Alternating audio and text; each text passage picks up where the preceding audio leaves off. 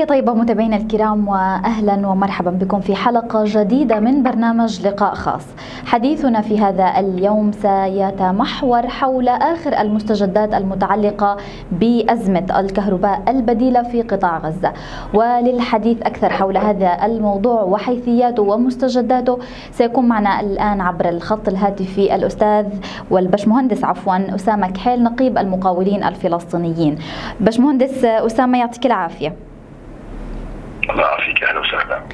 يعني في البداية أرحب بك معنا عبر وكالة سبق 24 الإخبارية للحديث أكثر حول مستجدات مشروع الطاقة البديلة في قطاع غزة. يعني بصراحة هي الأزمة بدأت تتفاعل قبل حوالي شهر. عندما اتخذت قرار سلطة الطاقة بتخفيض التعرفة إلى 2.5 شيكل واعترض أصحاب المولدات وإحنا في اتحاد المقاولين تقدمنا بمبادرة الهدف منها تخفيض التكلفة على المواطن قدر الإمكان وفي نفس الوقت تحقيق الربحية للناس المستثمرة في هذا المجال. نعم كنت أود أن أسألك بالتحديد حول المشروع التي الذي قدمتموه مؤخرا إلى سلطة الطاقة الفلسطينية. يعني كان هناك حديث عن موافقة سلطة الطاقة الفلسطينية على هذا المشروع الذي يحدد سعر الكهرباء البديلة للمواطنين بقدر 2 شيكل. فلو نتحدث أكثر حول حيثيات هذا المشروع. يعني عشان تكون هي المشروع ينقسم إلى جزئين. الجزء الأول اول الجزء الأول هذا للمناطق اللي ما فيش فيها مولدات. نعم. والجزء الثاني للمناطق اللي فيها المولدات القائمه. المناطق اللي ما فيش فيها مولدات راح يقوم بعض المقاولين والمستثمرين وتم اتفاق مبدئي معهم وزاره تشغيل العقود لتزويدها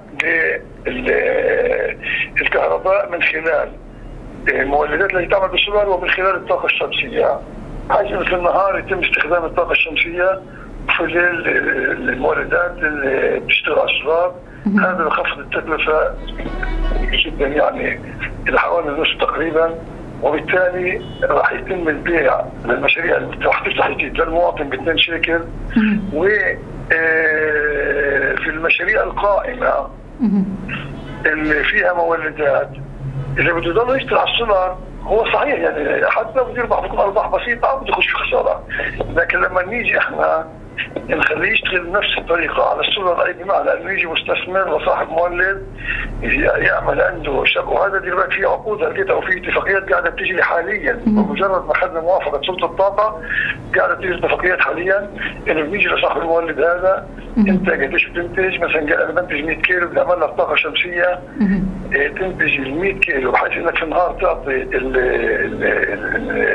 تأخذ من الطاقة الشمسية وفي الليل تعتمد على المولد السولار. نعم. هذا في الحالة هذه أيضا ستنخفض التكلفة وبصير في عنده إمكانية للربح. كذلك الربح العالي أو الجيد وكذلك العمل المستثمر أيضا راح يحقق الارباح بموجب الاتفاقيه اللي عملناها مع الطاقه نعم. وهي الاتفاقية مدتها خمس سنوات.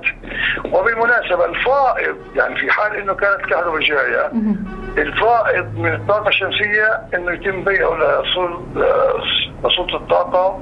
نعم. أو شركه الكهرباء بالتعرف الالكتروني طيب باشمهندس باشمهندس أسامة طب هل يعني يعني من خلال حديثك يتضح لنا إنه هناك حديث مباشر مع أصحاب المولدات التي كانت فعالة فعليا في المناطق في بعض مناطق قطاع غزة، هل واجهتم رفض أو نوع من من من الاحتكار ورفض لهذا المشروع الذي الذي قدمته الذي قدمه اتحاد المقاولين؟ لا هي في البداية لما تم طرح الموضوع ما كان الفكرة واصلة ولا النضج واصلة للجميع جميل. يعني كان أصحاب المولدات يقولوا إنه لا يعني ما توفيش كلام صح على السولار ربما ما توفيش بس لما أنا بدي أعمل mix ما بين السولار وما بين الطاقة الشمسية. حتصير توفي وبالتالي حيزيد كمان عدد المشتركين لأنه اليوم إذا كان عدد المشتركين بدي أفترض أنا 40000 مشترك. بسعر 4 شيكل الافرج المتوسط لما يصير 2 أو 2 ونص حيتضاعف عدد المشتركين بالتالي. فبالتالي حتفتح افاق استثمار لمستثمرين جدد بالإضافة للقائمين. وهي يعني كمان حتى يعني يعتبر استثمار جيد في هذه الظروف الصعبة. لأنه أنت بتيجي بتركب محطة طاقة شمسية وبتشير فيها للمولد أو بتشير فيها للمواطنين. هاي حتكون اتفاقيات منفصلة. بالمناسبة في خلق اتحاد المقاولين مش هو اللي راح ينفذ المشروع. اتحاد نعم. المقاولين هو القائم على الفكرة. صاحب الفكرة هو اللي قائم على الفكرة والقائم على تنفيذ العقبات والقائم على التوفيق ما بين الاطراف الثلاثه ما بين المستثمر والمقاول وسلطه الطاقة وشركة الكهرباء. نعم. هذا دور اتحاد المقاولين الحمد لله النتائج بدأت تاخذ اخذت يعني بدأت تجيب نتائج وحاليا جاري زي ما قلت لك العمل وتجهيز العقود وحاليا في تواصل ما بين أصحاب المولدات وما بين اللي بدهم يستثمروا في الطاقة وإن شاء الله في القريب العاجل يعني إحنا امبارح اخذنا الموافقة نعم، في القريب صحيح. العاجل راح إن شاء الله نبدأ في تنفيذ المشاريع على الأرض وراح يلمس المواطنين الفارق إن شاء الله في التكلفة والفرق في جودة. باشمهندس أسامة بتقديرك هذا المشروع سم كم كم سيأخذ وقت يعني ليكون جاهز للتطبيق الفعلي على الأرض؟ يعني أنا بقدر أعطي وقت من لحظه توقيع أول عقد. بنقدر نأدي وقت من قبل توقيع العقد ما بنقدر نأدي وقت لأنه هاي المدة تعتبر محروقة أما أنا ممكن خلال الأسبوع الجاي. أنا بتوقع ممكن يكون عندنا ال- الإمكانية إنه نعلن متى سيبدأ مش سيبدا الشروع مبدا سيبدأ الإنتاج. الكهرباء في المشاريع وفق الأفكار أو وفق الرؤيه اللي طرحها اتحاد المقاولين وهي الاعتماد على الطاقة والسولار وليس الاعتماد على السولار فقط في إنتاج الطاقة. جميل جدا بالنسبة للمواطنين المشتركين مسبقا مع آه، آه، أصحاب المولدات التي كانت تعمل في الفترة الماضية على سعر 4 شيكل أو أو ثلاثة ونصف شيكل هل سيكون هناك مستجدات ومتغيرات ستطرأ على آه، اشتراكاتهم مثلا أسماء الاشتراكات العدادات آه، آه، الخطوط الشبكات ما إلى ذلك؟ لا لا لا لا, لا شوفي شوفي شوفي اليوم أصحاب المولدات القائمة هذا عنده شبكته نعم. وعنده زباينه. وعامل مشروعه. إحنا كل اللي حنعمله إنه إحنا حنزود له طاقة شمسية بسعر مخفض جدا. جميل.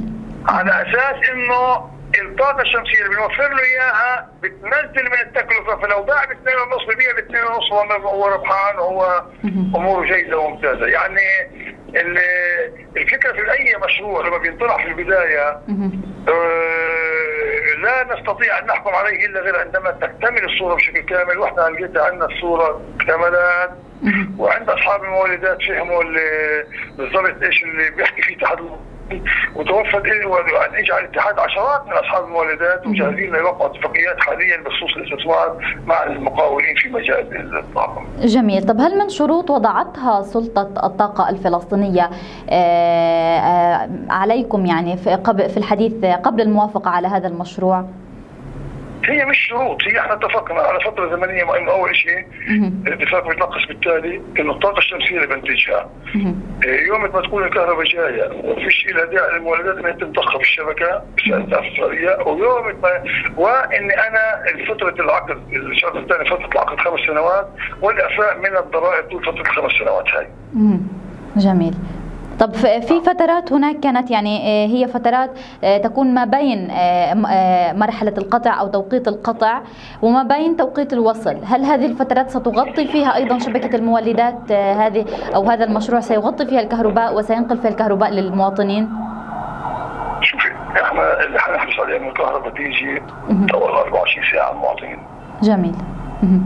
هذا بيعتمد على عده ما قلت لك اياها. ويعتمد على كمان قدرة الشركة شركة الكهرباء على إمداد المواطنين. ليش إحنا قلنا العقد خمس سنين؟ وليش قلنا إحنا إنه الفائض بتاخذ وأنا بفترض صار تحسن مقاولين الكهرباء. طب هذا المستثمر اللي يجي حط له 100000 ولا 200000 دولار ولا نص مليون دولار؟ وين بده يروح؟ فاهم علي كيف؟ فعشان هيك القصة لها أبعاد كثيرة. ومت- ومتشعب عشان هيك زي ما قلت لك أنا بكون العقد كامل وشامل كل ال- الأمور هذه بحيث انه لا المستثمر يتضرر ولا سلطة ولا ال ولا ال- صاحب المولد يتضرر أو أصحاب المولدات مهم. ولا المواطن. المواطن مستفيد بتخفيض التعرفة مهم. نعم. جميل. أشكرك جزيل الشكر البشمهندس أسامة كحيل نقيب المقاولين الفلسطينيين. حدثنا قليلا عن حيثيات المشروع الذي عرضته نقابة المقاولين الفلسطينيين على سلطة الطاقة الفلسطينية في توفير الطاقة البديلة طاقة الكهرباء البديلة بالسعر الذي فرضته سلطة الطاقة وهو 2 شيكل للمواطن الفلسطيني. وتحدثنا أيضا عن مدة هذا المشروع وكم سيكلف من الوقت وكم سيأخذ من الوقت لتنفيذه على أرض الواقع. أشكركم متابعينا الكرام على طيب المتابعة وإلى لقاء آخر في أمان الله.